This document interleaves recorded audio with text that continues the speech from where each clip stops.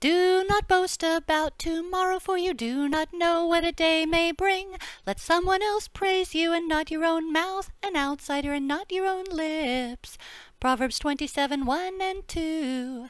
Do not boast about tomorrow, for you do not know what a day may bring. Let someone else praise you and not your own mouth, an outsider and not your own lips. Proverbs 27 1 and 2.